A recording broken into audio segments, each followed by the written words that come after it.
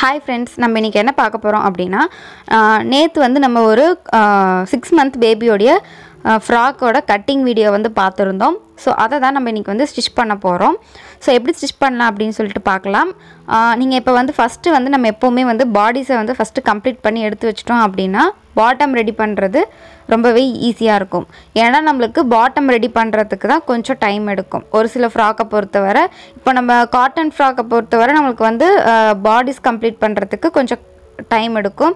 And அதில் கொஞ்சம் minute works எல்லாம் நிறையா இருக்கும்.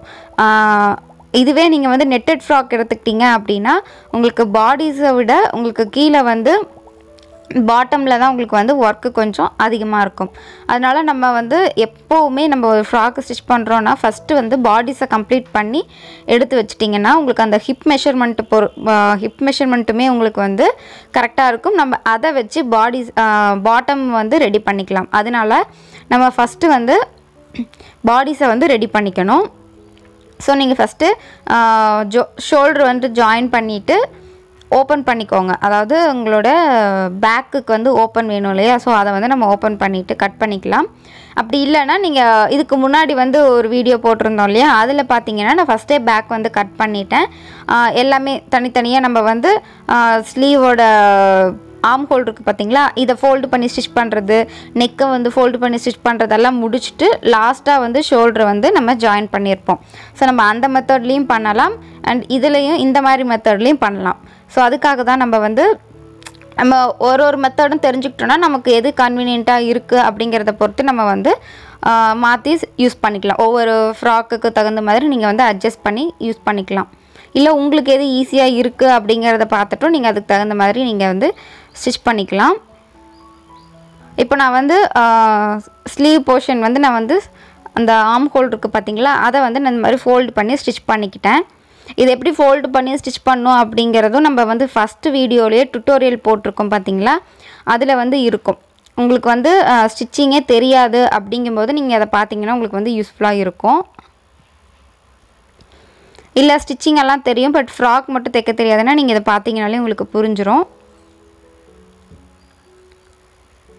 இப்போ நம்ம ஆம் ஹோல் வந்து ஸ்டிச் பண்ணதுக்கப்புறமா பேக் ஓப்பன் பண்ணிவிட்டு நம்ம வந்து நெக்கை வந்து ஸ்டிச் பண்ணிக்கலாம். ஏன்னா நம்ம அப்படியே அது வந்து ஏன்னா நம்மளுக்கு அது வந்து ரவுண்ட் ஷேப்பில் தான் இருக்குது நம்ம அப்படியே வந்து ஃபோல்டு பண்ணி ஸ்டிச் பண்ணுறதுக்கு கஷ்டமாக இருக்கும். அதனால் நம்ம பேக் ஓப்பன் பண்ணிட்டோம் அப்படின்னா உங்களுக்கு அப்படியே கண்டினியூஸாக வந்து நீங்கள் ஸ்டிச் பண்ணிக்கலாம். ஈஸியாக இருக்கும். நெக்கை பொறுத்தவரை நான் உங்களுக்கு வந்து ரெண்டு மூணு மெத்தடு சொல்லியிருக்கேன். பீஸ் கொடுத்து நம்ம வந்து இந்த பைப்பிங் மாதிரி வைக்கிறது வச்சுக்கலாம். அப்படி இல்லைன்னா எக்ஸ்ட்ராவாக பீஸ் கொடுத்து நம்ம உள்ளே ம மடித்து தைக்கிறதுனாலும் மடித்து தைச்சிக்கலாம். அப்படி இல்லைன்னா ஒரு ஃபுல் நெக்குக்கும் வந்து ஒரு கிளாத் நம்ம சுடிக்கெல்லாம் வச்சு தைப்போம் பார்த்தீங்களா? லைனிங்கை மட்டும் கட் பண்ணிவிட்டு மெயின் பீஸில் வச்சு நம்ம அட்டாச் பண்ணினதுக்கப்புறமா நெக்கு கட் பண்ணி எடுப்போம். அந்த மாதிரி மெத்தடில் பண்ணுறதுனாலும் பண்ணலாம். ஸோ நம்ம நெக்குக்கு பொறுத்தவரை நம்மளுக்கு வந்து நெக்குக்கும் நீங்கள் அந்த மெத்தடை யூஸ் பண்ணிக்கலாம். அண்டு ஸ்லீவ் போர்ஷன் நம்ம வந்து ஸ்லீவ் வைக்கல ஸ்லீவ்லெஸ்ஸாக ஸ்டிச் பண்ணுறோம் அப்படிங்கும்போது நீங்கள் அந்த மெத்தடும் இதுக்கு யூஸ் பண்ணிக்கலாம். ஆனால் நம்ம இப்போ வந்து சிம்பிளாக இந்த மாதிரி ஃபோல்டு பண்ணி ஸ்டிச் பண்ணிவிட்டு ஏன்னா இதுக்கு மேலே வந்து நம்ம ஒரு ஃப்ரில்லு மாதிரி தான் வைக்க போகிறோம் அதனால் நம்மளுக்கு இந்த இடத்துல வந்து பீஸ் கொடுத்து ஸ்டிச் பண்ணணும் அப்படின்னா இன்னும் ரொம்ப மொத்தமாக ஆகிடும் ஸோ அதனால் இந்த மாதிரி சின்னதாக வந்து ஒரு குட்டியாக ஒரு ஃபோல்டு பண்ணி ஸ்டிச் பண்ணிட்டீங்க அப்படின்னா உங்களுக்கு வந்து அந்த ஃப்ரில்லும் வைக்கும்போது உங்களுக்கு கரெக்டாக இருக்கும். இதுவே நீங்கள் ரஃப் யூஸ் வீட்டுக்கு போடுறது அப்படின்னா பெட்டிகோட் மாடல் வந்து நம்ம லாஸ்ட் வீடியோவில் அதாவது ஒன் இயர் பேபி வீடியோவில் நம்ம வந்து போட்டிருக்கோம். ஸோ அது வந்து பெட்டிகோட் டைப் உங்களுக்கு அதில் எந்த ஒர்க்குமே இருக்காது. ஆனால் எக்ஸ்ட்ராவாக நீங்கள் எந்த கிளாத்தும் கொடுத்து ஸ்டிச் பண்ண தேவையில்லை. இருக்கிற கிளாத்தில் நீங்கள் அப்படியே வந்து ஸ்டிச் பண்ணிக்கலாம். இப்போ நம்ம வந்து நெக்கு கம்ப்ளீட் பண்ணியாச்சு. சைடில் ஸ்லீவும் கம்ப்ளீட் பண்ணிட்டோம். அடுத்தது வந்து பேக் ஓப்பனுக்கு வந்து ஹூக் பட்டி வேணும் இல்லையா? ஸோ அதுக்கு வந்து இந்த மாதிரி ஒரு ஒன் இன்ச்சுக்கு கிளாத் எடுத்துக்கோங்க.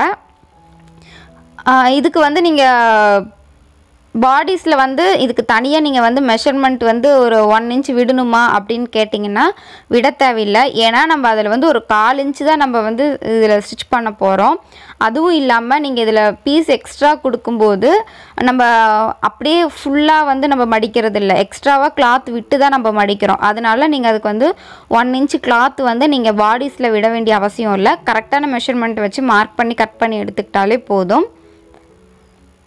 இப்போ இதில் பார்த்தீங்கன்னா ஹூக் வைக்கிற போர்ஷன் நம்ம இது வந்து ப்ளவுஸில் நம்ம ஹூக் வைப்போம் இல்லையா? அந்த மெத்தடில் நம்ம இதுக்கு வைக்கலாம். இதுக்கு முன்னாடி நம்ம போட்டிருந்த வீடியோவில் வந்து நான் அதில் வேறு ஒரு மெத்தட் வந்து நான் உங்களுக்கு சொல்லியிருப்பேன். இதில் பார்த்தீங்கன்னா நம்ம ப்ளவுஸ்க்கு வந்து ஹூக் வைப்போம் இல்லையா? சென்டரில் ஹூக் பட்டி வைப்போம்ல அந்த மெத்தடில் வந்து நம்ம இதை ஸ்டிச் பண்ணிக்கலாம். ஆனால் இதுக்கு வந்து அவ்வளோ பெருசாக வைக்க தேவையில்லை. சின்னதாக இந்த மாதிரி ஒரு ஹாஃப் இன்ச்சுக்கு அளவுக்கு நம்மளுக்கு அகலம் இருந்தால் போதும்.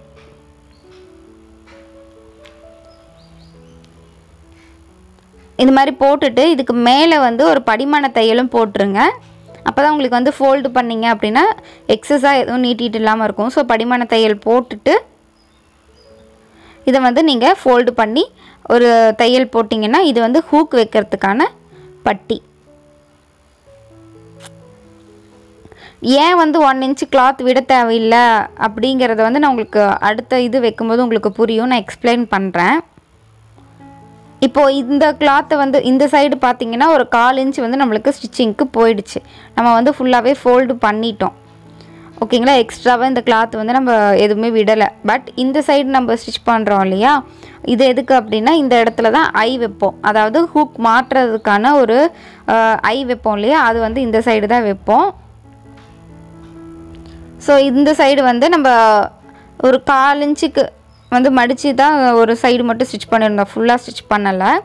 ஸோ இதில் பார்த்தீங்கன்னா அதே மாதிரி ஒரு கால் இன்ச்சு கேப்பில் தான் ஸ்டிச் பண்ணுறோம் ஹாஃப் இன்ச்சு கிடையாது. அண்ட் எக்ஸ்ட்ரா இருக்கிறத கட் பண்ணியாச்சு. இந்த மாதிரி பிசுரெல்லாம் இருக்குன்னா உடனே உடனே கட் பண்ணிக்கோங்க. அண்ட் இதுக்கும் வந்து நீங்கள் இந்த மாதிரி படிமான தையல் வந்து போட்டுக்கோங்க.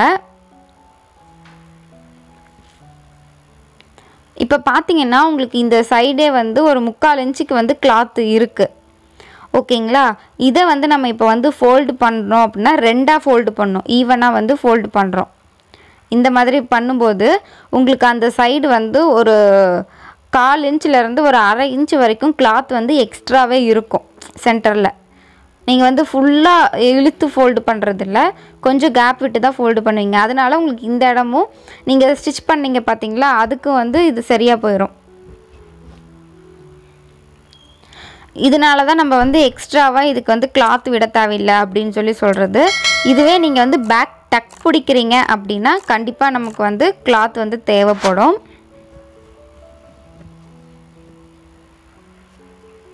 அண்ட் இது வந்து நம்ம ஃப்ரில்லுக்காக எடுத்துக்கலாம். இந்த மேலே வந்து கரை பீஸ் இருக்க மாதிரி நான் எடுத்திருக்கனால அந்த சைடு வந்து நான் ஃபோல்டு பண்ணி ஸ்டிச் பண்ண போகிறதில்ல ஒரு சைடு மட்டும் அதாவது நம்மளுக்கு ரா எட்ஜஸ் இருக்குது பார்த்திங்களா அந்த சைடு மட்டும் நான் வந்து ஃபோல்டு பண்ணி ஸ்டிச் பண்ணிக்க போகிறேன் நல்லா சின்னதாக மைல்டாக கொஞ்சம் நல்லா உருட்டு தையல் வர மாதிரி நீங்கள் வந்து பண்ணிக்கிட்டீங்க அப்படின்னா ஃப்ளீட் வைக்கும்போது நம்மளுக்கு அந்த இடம் வந்து நல்லா கொஞ்சம் ஸ்டிஃபாக நிற்கும் இது வந்து நம்ம நெக்குக்கான பீஸு நம்ம நெக்குக்கு தான் ஃப்ரில் வைக்க போகிறோம்னு சொல்லியிருந்தேன் இல்லையா?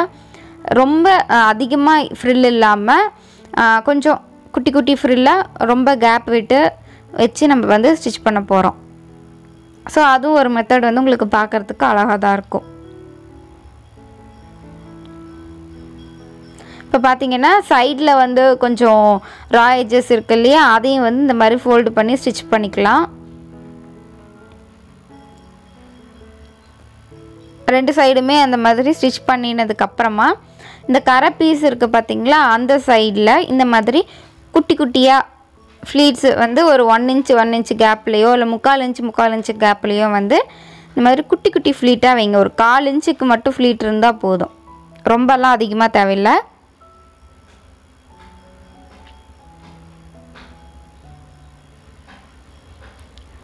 நீங்கள் வந்து ஒரு ஒன் இன்ச்சு கேப்பில் அப்படின்னா ஒரு முக்கால் இன்ச்சு கேப்பில் வந்து நீங்கள் இந்த மாதிரி குட்டி குட்டி ஃப்ளீட்ஸ் வச்சிங்கன்னா இது பார்க்குறதுக்கு உங்களுக்கு அழகாக இருக்கும். அந்த இடம் வந்து ரொம்ப மொத்தமாக இல்லாமல் கொஞ்சம் உங்களுக்கு வந்து ஒரு நீட்டாக இருக்கும்.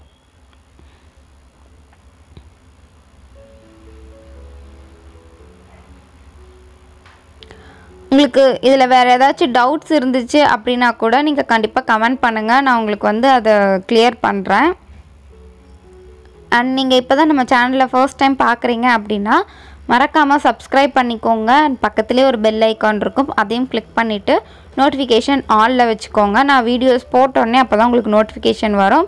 நீங்கள் வந்து மிஸ் பண்ணாமல் பார்க்கலாம். ஏன் அப்படின்னா நம்ம கட்டிங் ஒரு வீடியோவாகவும் ஸ்டிச்சிங் ஒரு வீடியோவாகவும் போடுறோம். ஸோ நீங்கள் கட்டிங் பார்த்துட்டு ஸ்டிச்சிங் பார்க்கல அப்படின்னாலும் உங்களுக்கு வந்து புரியாது. இல்லை நீங்கள் வந்து ஸ்டிச்சிங்கை வந்து இப்போ பார்க்குறீங்க அப்படின்னா அடுத்தது கட்டிங் வீடியோவும் நீங்கள் வந்து பார்க்கலாம். அப்படின்னா நீங்கள் நம்ம சேனலில் போயிட்டு நீங்கள் சர்ச் பண்ணிங்கனாலே உங்களுக்கு வந்துடும் அண்ட் அதே போல் நம்ம ரெகுலராகவே கட்டிங் தனியாக ஸ்டிச்சிங் தனியாக போடுவோம். அண்ட் இதில் எக்ஸ்ட்ராவாக ஏதாச்சும் நம்ம ஒரு ஃப்ளவரோ இல்லை வேறு ஏதாவது எக்ஸ்ட்ரா இதுக்கு நம்ம வேறு ஏதாவது பண்ணுறோம் அப்படின்னா அதையும் நம்ம வந்து தனியாக போட்டோம் அப்படின்னா உங்களுக்கு வந்து ஈஸியாக இருக்கும். அதுக்காக ஏன்னா நம்ம ஒட்டுக்கா ஒரே வீடியோவாக போடும்போது உங்களுக்கு வந்து வீடியோ ரொம்ப பெருசாக இருக்கும். ஸோ பார்க்குறதுக்கு நம்மளுக்கு வந்து கண்டினியூஸாக நம்மளால் ரொம்ப நேரம் பார்க்க முடியாது. நம்ம ஸ்கிப் பண்ணி பார்க்கும்போது நிறைய விஷயம் நமக்கு தெரியாமல் போகலாம். அதனால் நம்ம பார்ட் ஒன் பார்ட் டூ அந்த மாதிரி போட்டோன்னா நீங்களும் வந்து எல்லா விஷயமும் தெரிஞ்சுக்கலாம். அண்ட் உங்களுக்கு ஏதாச்சும் டவுட்ஸ் இருந்துச்சுனாலும் நீங்கள் கேட்டிங்கன்னா நான் வந்து அதை கிளியர் பண்ணிவிடுவேன் அண்ட் இப்போ நெக்கில் பார்த்தீங்க அப்படின்னா நம்ம அந்த ஃப்ரில் இருக்குது பார்த்தீங்களா? அதை வந்து ஃப்ரண்ட் நெக்கில் இருந்து நம்ம ஜாயின் பண்ணிட்டு வரோம். ஃப்ரண்ட்டில் வந்து சென்டர் மார்க் பண்ணிக்கோங்க. அண்டு ஃப்ரில்லுலேயும் வந்து சென்டர் மார்க் பண்ணிவிட்டு அந்த ரெண்டையும் வச்சு ஒரு சைடு வந்து ஜாயின் பண்ணுங்கள் நம்ம ஸ்லீவ் வந்து ஜாயின் பண்ணுவோம் பார்த்தீங்களா ஷோல்டரோட அந்த மாதிரி வந்து இதை ஜாயின் பண்ணுங்கள் ஏன்னா நம்ம இதை பேக்கில் வந்து ஹூக் பட்டிக்கு கொஞ்சம் ஒரு ஒன்றரை இன்ச்சு வரைக்கும் முன்னாடியே வந்து ஸ்டாப் பண்ண போகிறோம் அதனால் நீங்கள் வந்து அந்த சென்டர்லேருந்து கால்குலேட் பண்ணி ஸ்டிச் பண்ணீங்க அப்படின்னா கரெக்டாக இருக்கும். ஸோ இப்போ ஒன் சைடு வந்து ஸ்டிச் பண்ணியாச்சு. இன்னொரு சைடும் இதே மாதிரி ஸ்டிச் பண்ணிக்கோங்க. அண்ட் சென்டரில் வந்து இந்த மாதிரி த்ரெட்டெல்லாம் எல்லாம் இருக்கும். அதையும் வந்து மறக்காமல் கட் பண்ணிடுங்க ஸோ இப்போ நம்ம வந்து ரெண்டு சைடு ஜாயின் பண்ணிட்டோம். இப்போ பார்த்தீங்க அப்படின்னா நெக்கை சுற்றி உங்களுக்கு வந்து இந்த ஃப்ரில் வந்துருச்சு. இந்த ஃப்ரில்லே இன்னும் கொஞ்சம் நீங்கள் வந்து லென்த்தாக வைக்கிறதுனாலும் வச்சுக்கலாம். வச்சிங்க அப்படின்னா உங்களுக்கு ஸ்லீவ் போர்ஷன் வந்து இதுலேயே கவர் ஆகிடும் நீங்கள் ஸ்லீவ் இதுக்கு தனியாக வைக்க வேண்டிய அவசியம் இருக்காது. இப்போ பாருங்க உங்களுக்கு வந்து இப்போ ஒரு ஹாஃப் ஸ்லீவ் இருக்க மாதிரி உங்களுக்கு வந்து ஒரு லுக் இருக்கும்.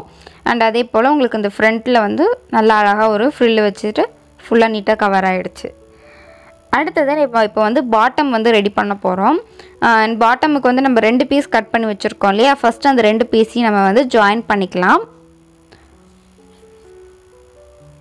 ராங் சைடு ரெண்டு வெளியில் இருக்க மாதிரி வச்சுக்கோங்க. வச்சுட்டு இந்த மாதிரி எக்ஸ்ட்ரா அந்த சைட்லலாம் கொஞ்சம் பிசுரெல்லாம் இருக்குது பார்த்தீங்களா அதெல்லாத்தையும் கட் பண்ணிவிட்டு கிளாத்தில் எந்த சுருக்கமும் இல்லாமல் நீட்டாக தடவி விட்டுட்டீங்க அப்படின்னா உங்களுக்கு வந்து மடிப்பெல்லாம் இருக்காது. ஏன்னா நம்ம ஸ்டிச் பண்ணும்போது ஃபோல்டிங்கோ இல்லை ஏதாவது இருந்துச்சு அப்படின்னா நம்ம அப்படியே தைச்சிட்டோன்னா அந்த இடம் வந்து மறுபடியும் பிரிச்சுட்டு ஆல்ட்ரு பண்ணிகிட்ருக்கணும் அதனால் ஸ்டிச் பண்ணும்போது கவனமாக இதெல்லாம் பார்த்துக்கோங்க.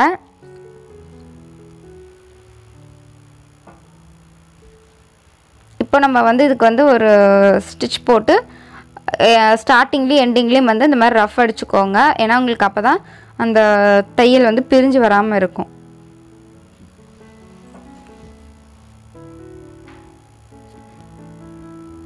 அண்டு uh, இந்த டிசைனை பார்த்துக்கோங்க இந்த டிசைன் நமக்கு வந்து ஸ்ட்ரெயிட்டாக இருக்கணும். அதை அதை பா வச்சு தான் நம்ம வந்து கீழே எது மேலே எது அப்படின்னு சொல்லிட்டு நம்ம வந்து கன்ஃபார்ம் பண்ண முடியும். ஸோ டிசைன் வந்து ரெண்டு கிளாத்லேயும் ஒரே மாதிரியே இருக்கணும். அதாவது நம்ம பீஸ் வந்து நம்ம அது மாதிரி தான் நம்ம வந்து கரெக்ட் பண்ணி வச்சுருப்போம்.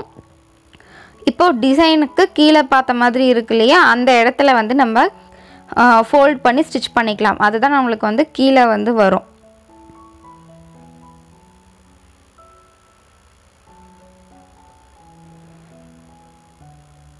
ஸோ நம்ம இப்போ வந்து கீழே வந்து இந்த மாதிரி ஒரு ஹாஃப் இன்ச் அளவுக்கு மடித்து தைச்சிக்கலாம்.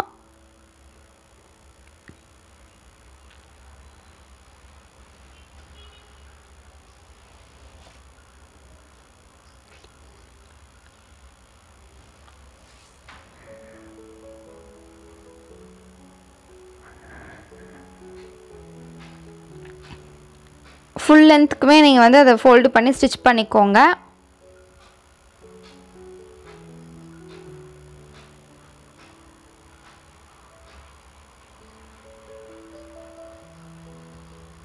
அதுக்கு அடுத்தது மேல் பக்கம் இருக்கு இல்லையா நம்ம அந்த இடத்துல தான் நம்ம வந்து ஃப்ளீட்ஸ் வைக்கணும். உங்களுக்கு வந்து டைப்ஸ் ஆஃப் ஃப்ளீட்ஸ் இருக்கு இல்லையா அதுவும் வந்து நான் உங்களுக்கு தனியாகவே வீடியோ போட்டிருக்கேன். ஃப்ளீட்ஸோட மெத்தட் வந்து உங்களுக்கு தெரிஞ்சுக்கணும். நம்ம ஏன்னா ஃப்ளீட்ஸ் வந்து நம்ம ஒவ்வொரு ஃப்ராக்ஸுக்கும் ஒவ்வொரு மாதிரி கூட நம்ம மாற்றி மாற்றி வைக்கலாம். ஸோ நீங்கள் அப்படி இருக்கும்போது நீங்கள் அதை வந்து ஃப்ளீட்ஸ் வந்து எப்படி வைக்கலாம் அப்படிங்கிறது ஓ, நம்ம டுட்டோரியல் போட்டிருக்கோம். ஏன்னா பேசிக் ஃப்ராக்குக்கு வேணுங்கிறத பற்றி மட்டும் நான் தனியாக ஒரு வீடியோ போட்டிருக்கேன். ஃப்ளீட்ஸோட டைப்ஸ் எல்லாம் போட்டிருக்கேன். அண்ட் ஃபோல்டிங் வந்து எப்படி பண்ணி ஸ்டிச் பண்ணணும் அப்படிங்கிறதும் போட்டிருக்கேன்.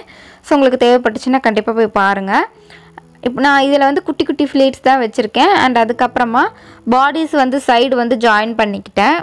நம்ம இதில் வந்து பேக் நாட் வந்து சேர்த்தி சைடில் இருந்து நம்ம வைக்க போகிறதில்ல பேக்கில் மட்டும்தான் வைக்க போகிறோம் அதனால் நம்மளுக்கு இங்கே வந்து சைடு ஜாயின் பண்ணிக்கலாம். ஒன்றும் பிரச்சனை இல்லை.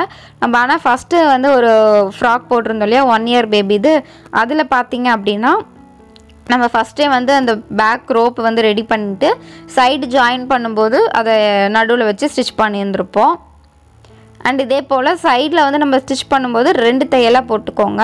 உங்களுக்கு அப்போ தான் அது வந்து நம்மளுக்கு தையல் வந்து விட்டுறாமல் இருக்கும். இதில் நம்ம வீட்லேயே நம்ம தைக்கிறதுல பெனிஃபிட் என்ன அப்படின்னா நம்ம ஒவ்வொன்றும் வந்து நல்ல ஸ்டிச்சஸ் எல்லாம் ஸ்ட்ராங்காக போடுவோம். கிழிஞ்சிடாது அவ்வளோ சீக்கிரம். தையல் பிரியாமல் இருக்கும். அதுதான் பெனிஃபிட்டே ஸோ அதனால் நம்மளே வந்து வீட்டில் வந்து இந்த மாதிரி ஸ்டிச் பண்ணி போடலாம்.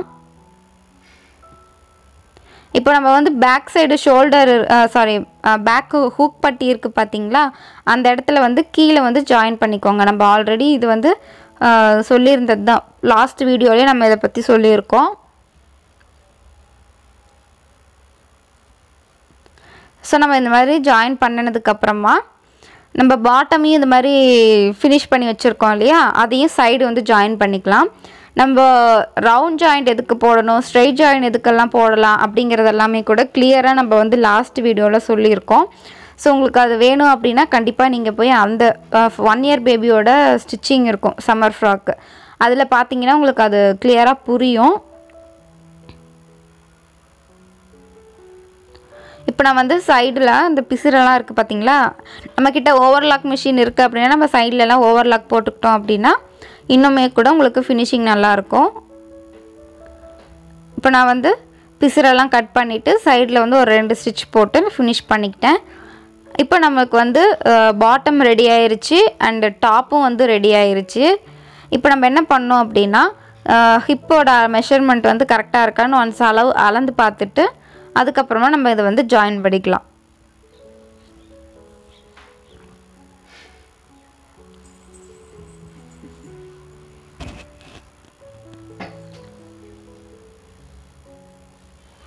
இப்போ நம்ம சைடு இருக்குது பார்த்தீங்களா பாட்டம்லேயும் ரெண்டு ஜாயிண்ட் போட்டிருக்கோம் இல்லையா? அந்த இதுவும் பாடிஸோட சைடையும் ஒன்றா வச்சு அங்கேருந்து ஸ்டிச் பண்ண ஆரம்பிச்சுக்கலாம்.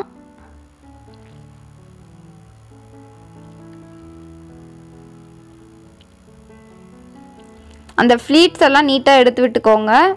ஏன்னா அது நல்லா மேலே மேலே தூக்கிட்டு இருக்கு இல்லையா? நம்ம பாடிஸையும் அதையும் ஜாயின் பண்ணும்போது ரெண்டையும் சேர்த்து தைச்சிடாமல் இருக்கணும். அண்ட் அதே போல் இந்த சைடு இருக்குது பார்த்திங்களா இந்த கிளாத் வந்து எல்லாமே பேக் சைடு பார்த்த மாதிரி வச்சுக்கோங்க. அதாவது பேக்கில் நம்ம ஹூக்கு ஓப்பன் வச்சுருக்கோம் இல்லையா அந்த சைடை பார்த்த மாதிரி அந்த பீஸை வந்து திருப்பி விட்டுக்கோங்க. ஃப்ரண்ட்டில் எதுவும் வராத மாதிரி. ஃப்ளீட்ஸ் எல்லாம் நீட்டாக எடுத்து விட்டுட்டு ஒரு ஹாஃப் இன்ச்சு கேப்பில் நம்ம இந்த மாதிரி ஒரு ஸ்டிச்சை போட்டுக்கலாம். ஹாஃப் இன்ச்சுக்கு கொஞ்சம் கம்மியாக அரை இன்ச்சுக்கு கொஞ்சம் அதிகமாக சாரி கால் இன்ச்சுக்கு கொஞ்சம் அதிகமாக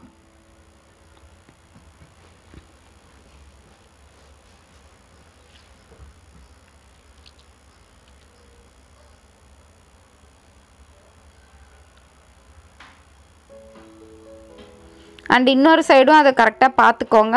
நம்ம எந்த சைடு வந்து அதை வைக்கணும் திருப்பி வைக்கணும் அப்படிங்கிறத. ஒரு சைடு ஃப்ரண்ட்டை பார்த்த மாதிரி இன்னொரு சைடு பேக்கை பார்த்த மாதிரி வச்சிடாதீங்க.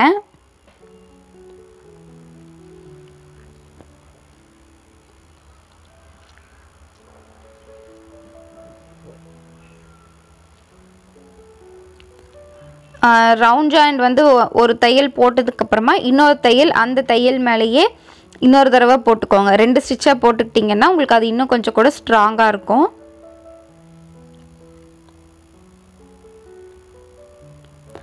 இந்த ரவுண்ட் ஜாயின் பண்ணினதுக்கு அப்புறமா நம்ம வந்து நாட் ரெடி பண்ணி அதாவது பேக் ரோப் இருக்குது பார்த்திங்களா அதை ரெடி பண்ணிவிட்டு நம்ம வந்து அதையும் வச்சு ஸ்டிச் பண்ணிக்கலாம்.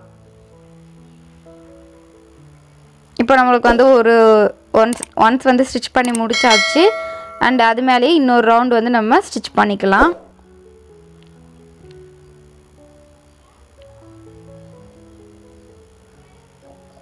ரெண்டாவது தடவை ஸ்டிச் பண்ணும்போதும் கொஞ்சம் கேர்ஃபுல்லாக அந்த கிளாத்தெல்லாம் அடியில் இருக்க கிளாத்து அண்ட் மேலே இருக்க கிளாத்தெல்லாம் கரெக்டாக நீங்கள் இந்த மாதிரி பிடிச்சிட்டு தைங்க இல்லை அப்படின்னா ஏதாவது சுருண்டு சுருண்டு மாட்டிக்கிச்சு அப்படின்னா கூட நம்மளுக்கு தெரியாது. அப்புறம் ஒட்டுக்காக ஸ்டிச் பண்ணிவிட்டு மறுபடியும் உட்காந்து பிரித்து தைக்கிற மாதிரி ஆகிடும்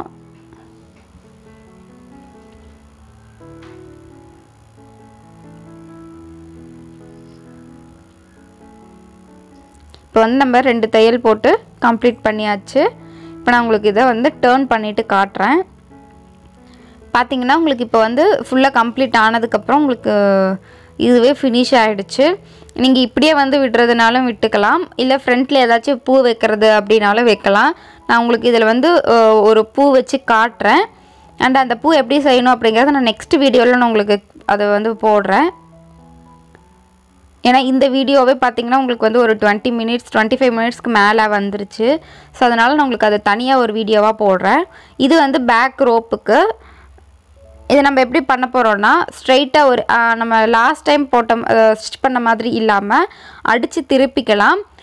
அதுவும் வந்து கீழ் கீழே வந்து நம்ம கட்டுற இடம் இருக்குது பார்த்திங்களா அந்த இடத்துல கொஞ்சம் அகலமாகவும் மேலே கிளாத்தோட ஃப்ராக்கோட வச்சு ஸ்டிச் பண்ணுறோம் இல்லையா? அந்த இடத்துல வந்து கொஞ்சம் தின்னாகவும் வர்ற மாதிரி நம்ம மார்க் பண்ணிக்கலாம். ஏன்னா உங்களுக்கு அது பார்க்க இன்னும் கொஞ்சம் டிஃப்ரெண்ட்டாக இருக்கும். ஸோ இப்போ வந்து நம்ம நார்மலாக இந்த மாதிரி ஸ்டிச் பண்ணியாச்சு. இந்த சைடில் மட்டும் இந்த எக்ஸ்ட்ரா இருக்கிறத கட் பண்ணிக்கோங்க. அண்ட் இந்த கார்னர்ஸையும் வந்து கட் பண்ணிக்கோங்க. ஏன்னா அப்போ தான் உங்களுக்கு டேர்ன் பண்ணும்போது அந்த ஷார்ப்பெல்லாம் கரெக்டாக இருக்கும். இந்த மாதிரி ஏதாவது ஒரு கம்பி இல்லை இந்த மாதிரி ஸ்க்ரூ ட்ரைவர் கூட வச்சுக்கோங்க. வச்சுக்கிட்டு நம்ம இதை வந்து இந்த மாதிரி திருப்பிக்கிட்டோம் அப்படின்னா உங்களுக்கு அந்த ரா எஜஸ் எல்லாம் உள்ளே போயிடும். அண்ட் ஃபினிஷ்டு போர்ஷன் வந்து உங்களுக்கு வெளியில் வந்துடும் இந்த கார்னர்லாம் இருக்குது பார்த்தீங்களா அதெல்லாம் வந்து இதுலேயே கரெக்டாக எடுத்து விட்டுருங்க. இப்போ நம்ம டேர்ன் பண்ணியாச்சு. பார்த்தீங்கன்னா உங்களுக்கு தெரியும். இந்த சைடு வந்து நல்லா உங்களுக்கு வந்து திக்னஸாக இருக்கும். அண்ட் அதே போல் அந்த சைடு வந்து நல்லா தின்னாக வந்திருக்கும்.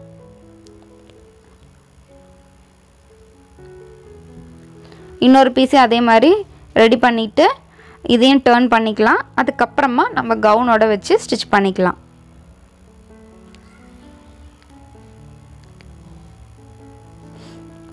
இப்போ நம்ம இங்கே வந்து சென்டர் இருக்குது பார்த்தீங்களா? சென்டரில் இருந்து இந்த பக்கம் ஒரு மூணு இன்ச்சு இந்த பக்கம் வந்து ஒரு மூணு இன்ச்சு. அந்த அளவுக்கு நம்ம மார்க் பண்ணிக்கிட்டு இதை வந்து வச்சு ஸ்டிச் பண்ணிக்கலாம். இப்படி வச்சு தைச்சா பிசுறு தெரியுமே அப்படின்னு நீங்கள் யோசிக்கலாம்.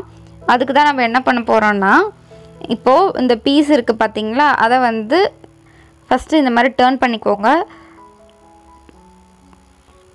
நம்ம மார்க் பண்ணியிருக்க இடத்துல வந்து இந்த பீஸை வந்து இந்த டைரக்ஷனில் வைக்கணும். உங்களுக்கு தெரிஞ்சிருக்கும். இந்த ரோப் வந்து வெளியில் இருக்க மாதிரியும் அந்த பிசிறு இருக்குது பார்த்தீங்களா? அது வந்து இந்த குக் போர்ஷனை பார்த்த மாதிரியும் வச்சுக்கோங்க. கீழேயும் வந்து எந்த துணியும் சுருக்கம் இல்லாமல் கரெக்டாக பார்த்துக்கிட்டு வச்சுட்டு இந்த மாதிரி நல்லா ஒரு கால் இன்ச்சு கேப்பில் வந்து நல்லா ரஃப் அடித்து தைச்சிக்கோங்க.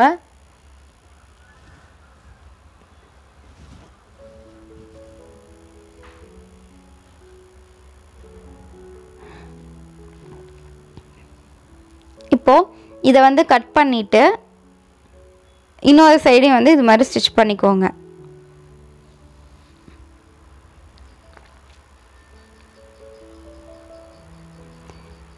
ஸோ இந்த பக்கமாக நம்ம இந்த மாதிரி ஸ்டிச் பண்ணினதுக்கப்புறமா இந்த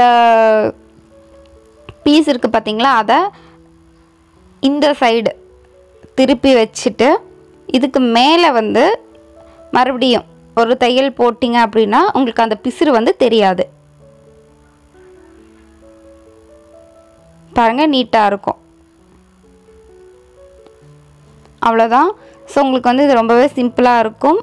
அண்ட் உங்களுக்கு பார்த்தீங்கன்னா தெரியும் இந்த பிசுறு வந்து உங்களுக்கு வெளியில் தெரியல. அண்ட் அதே போல் அதுவும் உங்களுக்கு ஸ்ட்ராங்காகவும் இருக்கும். ஸோ இந்த மாதிரி நம்ம இப்போ வந்து நாட் ரெடி பண்ணியாச்சு பேக் சைடு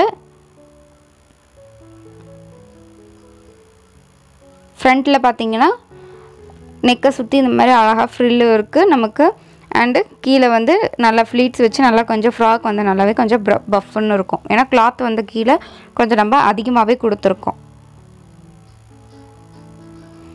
இப்போ நம்ம இந்த மாதிரி ஒரு பூ வந்து ரெடி பண்ணியிருக்கோம். ரொம்பவே சிம்பிள் தான். நீங்கள் இதை வந்து கொஞ்சம் கான்ட்ராஸ்டான கலரில் அதாவது நீங்கள் இதுலேயே எல்லோ இருக்குது பார்த்தீங்களா எல்லோ இருக்குது ரெட் இருக்குது அண்டு ஒரு லைட்டாக ஒரு க்ரீன் ஷேடு கூட அந்த பீகாக்லலாம் வருது. நீங்கள் இதில் வந்து நீங்கள் இந்த எல்லோ இந்த இல்லைன்னா ரெட்டில் இந்த மாதிரி கலர்ஸில் கூட நீங்கள் பிளெயினாக கிளாத் இருக்குன்னா நீங்கள் அதை வந்து ரெடி பண்ணிவிட்டு இதில் வச்சு நீங்கள் வந்து ஸ்டிச் பண்ணிக்கலாம். என்கிட்ட வந்து பிளெயின் கிளாத் எதுவும் இல்லை. அதனால் நான் இதுலேயே இருக்கக்கூடிய கிளாத்தையே நான் யூஸ் பண்ணிக்கிட்டேன். இந்த பூ ரெடி பண்ணுறதும் ரொம்பவே சிம்பிள் தான். எப்படி பண்ணணும் அப்படிங்கிறதும் நான் உங்களுக்கு அடுத்த வீடியோவில் உங்களுக்கு நான் வந்து எக்ஸ்பிளைன் பண்ணி போடுறேன்.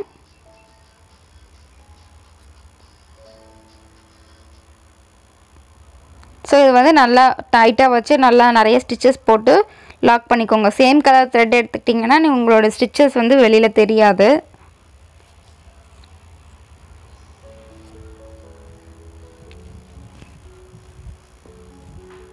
ஸோ உங்களுக்கு இந்த வீடியோ யூஸ்ஃபுல்லாக இருக்கும்னு நான் நினைக்கிறேன். யூஸ்ஃபுல்லாக இருந்துச்சு அப்படின்னா கண்டிப்பாக லைக் பண்ணுங்கள் அண்ட் உங்கள் குட்டீஸ்க்கு வந்து ஸ்டிச் பண்ணி போடுங்க.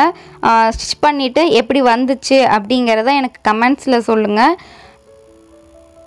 நீங்கள் இப்போ தான் நம்ம சேனலில் ஃபர்ஸ்ட் டைம் பார்க்குறீங்க அப்படின்னா கண்டிப்பாக மறக்காமல் சப்ஸ்கிரைப் பண்ணிக்கோங்க. அண்ட் பக்கத்துலேயே ஒரு பெல் ஐக்கான் இருக்கும். அதையும் கிளிக் பண்ணிக்கோங்க. அப்போ தான் நான் வீடியோஸ் போட்ட உடனே உங்களுக்கு வந்து நோட்டிஃபிகேஷன் வந்துடும் நீங்கள் என் வீடியோஸை வந்து மிஸ் பண்ணாமல் ரெகுலராக வாட்ச் பண்ணலாம். அண்ட் இந்த ஃப்ராக்கோட கட்டிங் வீடியோ வந்து நான் இதுக்கு முன்னாடி வந்து போட்டிருக்கேன். நீங்கள் இதோட மெஷர்மெண்ட்டு கட்டிங் எல்லாமே உங்களுக்கு அதில் கிளியராக நான் எக்ஸ்பிளைன் பண்ணியிருக்கேன். ஸோ நீங்கள் அதை பார்த்தீங்க அப்படின்னாலே உங்களுக்கு வந்து மெஷர்மெண்ட்டுக்கும் கட்டிங்க்கும் ஒரு ஐடியா கிடச்சிரும்.